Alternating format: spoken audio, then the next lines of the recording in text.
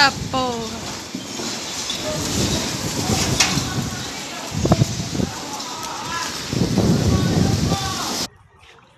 Olha a situação do palco aqui, como ficou. O vento acabou com tudo. Moeu o som, moeu tudo. Aconteceu? Dado Miséria. Miséria.com.br Seu portal de notícias.